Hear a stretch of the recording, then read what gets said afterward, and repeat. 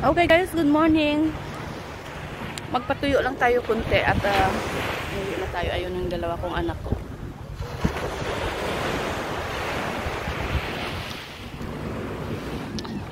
So, here we go. Pupunta tayo doon sa unahan nang makita rin natin kung ano yung mga views doon.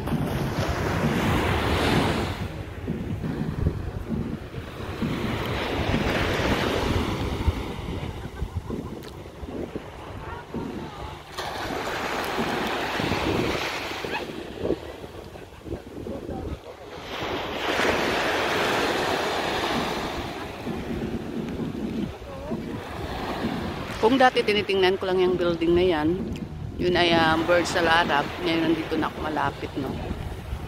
So, I, uh, how I wish that one day, uh, makapasok din tayo dyan at uh, alamin kung ano ang nasa loob ng Birds Al Arab.